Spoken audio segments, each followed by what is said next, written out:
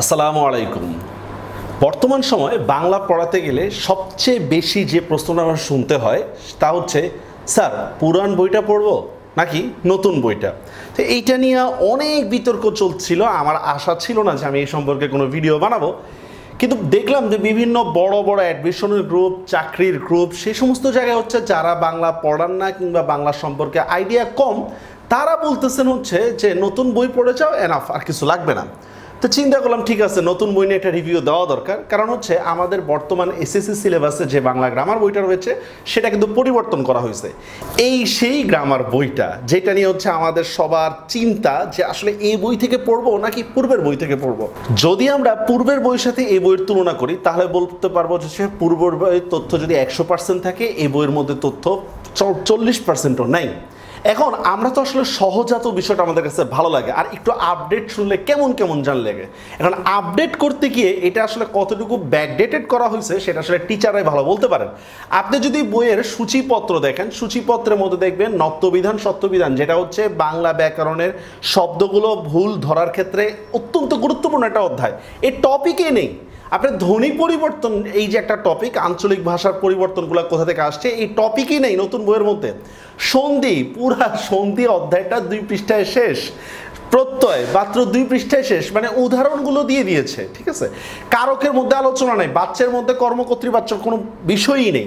পথ প্রকরণের মধ্যে আসলে আগে ছিল একরকম এখন আরেক রকম আগের বইয়ের মধ্যে এক্সাম্পল ছিল অনেক বেশি, বোঝার মতো অনেক কিছু ছিল, এখনকার বইয়ের মধ্যে সব শর্ট শর্ট শর্টার শর্টেস্ট করে দিছে। তো এখন যেহেতু আমরা সংক্ষিপ্ত বিষয়টাকে পছন্দ করি, তাই আমাদের কাছে এই বইটা খুব ভালো লাগবে।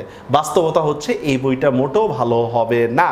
এটা আমার অপিনিয়ন কেন বলতেছি কথাটা?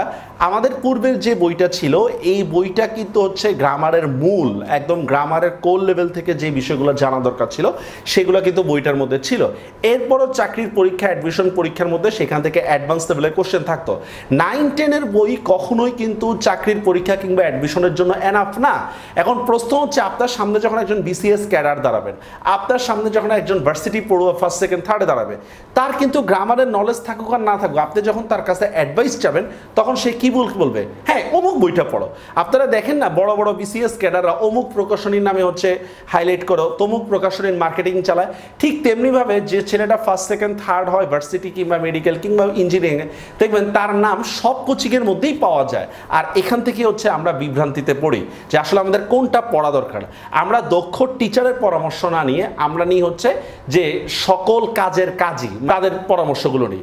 একজন বাংলা টিচারকে দেন জিজ্ঞেস করেন যে নতুন বইটা কেমন? বলবেন যে আসলে তেমন কিছুই নেই।